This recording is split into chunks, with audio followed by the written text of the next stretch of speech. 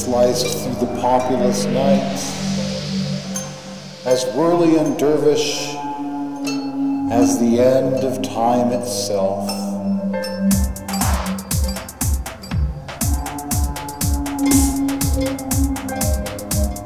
Flinging their child's fancies through endless poorly patched rips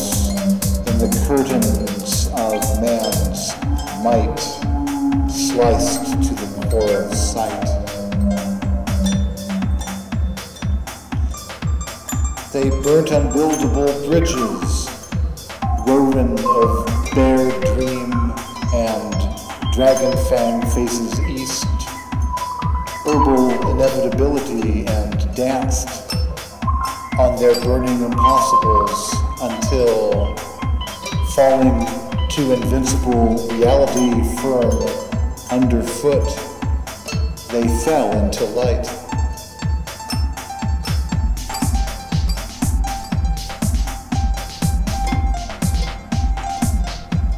The fine time line of the one true dream, shattering bodies of rust and make-believe, weather vanes in tidal cascading freedom, ghosts of solidity and true knowledge triumphant.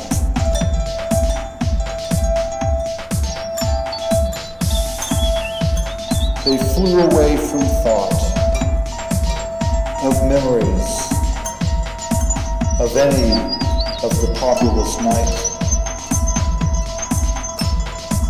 As whirly and dervish as the end of time itself, giving knives to the night, dancing steel time, broken and bent.